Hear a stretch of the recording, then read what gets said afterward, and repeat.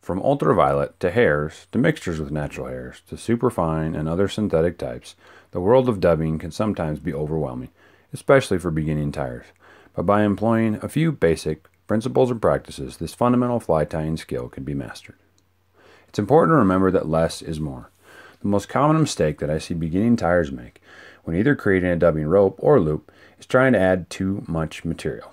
When selecting your fibers, simply hold a clump in your hand and gently pluck a sparse mixture of fibers from the edge. Also, don't be afraid to increase the tack on your thread when working with furs and synthetics by using materials like loon swax. If you're a right-handed tyer, your thumb should move toward the vise and your index finger away when creating a dubbing rope. The opposite is true for left-handers. Superfine dubbing is often used in the creation of dry flies. When selecting the fibers, the process is similar. Hold the clump and gently and delicately pluck some sparse fibers from the edge.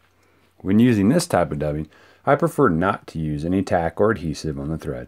The fine diameter of these fibers easily twist into a nice tight rope that can be used to create buoyant and smoothly tapered dry fly bodies.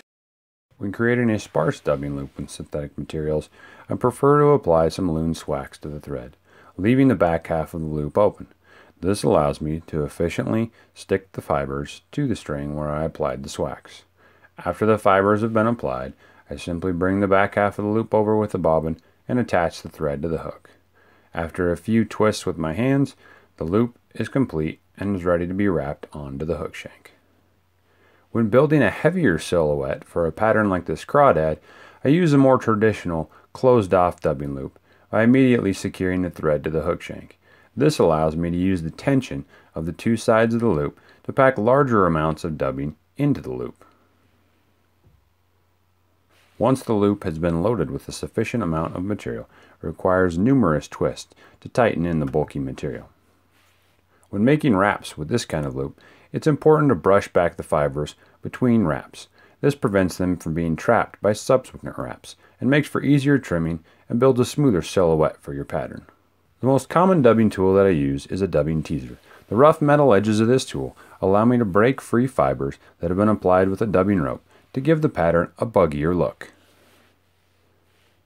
So as you move forward with this, remember, less is more. Less material, less hassle, more efficiency, and more high quality patterns which hopefully lead to more fish finding their way into your net.